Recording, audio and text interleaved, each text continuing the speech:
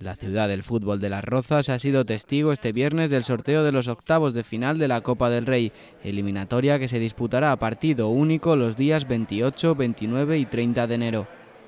Entre los emparejamientos más destacados, el Barcelona, que viene de superar un mal trago ante el Ibiza, recibirá al Leganés en el Camp Nou. Nos toca a nosotros jugar en casa y también naturalmente pues preferimos siempre jugar en casa que fuera.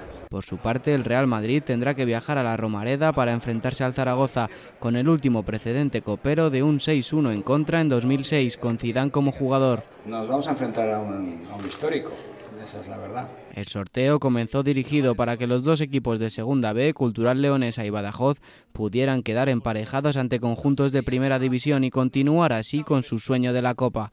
Los leoneses se enfrentarán al Valencia y los extremeños al Granada. El otro enfrentamiento entre dos primeras será el Real Sociedad Osasuna en Anoeta, mientras que los tres duelos restantes medirán a conjuntos de primera y segunda, con ventaja de campo para los más modestos. Así, los duelos serán Mirandés Sevilla, Tenerife Athletic Club y Rayo Vallecano Villarreal. En la Copa de la Reina, el actual campeón, la Real Sociedad, defenderá título ante el Madrid, mientras que los dos máximos favoritos, Atlético y Barcelona, se enfrentarán al Betis y Sporting de Huelva respectivamente.